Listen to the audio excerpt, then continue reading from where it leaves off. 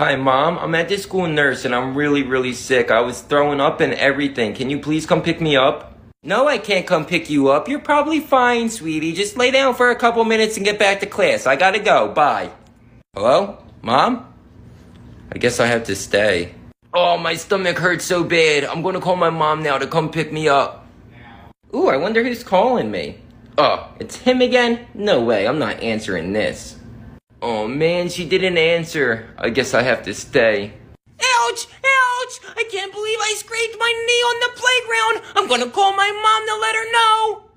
Oh my goodness, it's Billy's school calling. Hello, Billy, are you okay, sweetie? No, Mom, I fell on the playground and I scraped my knee. I had to go to the nurse and she gave me a band-aid and everything. Oh my gosh, are you okay, sweetie? Don't worry, Mama's on her way to come pick you up from school.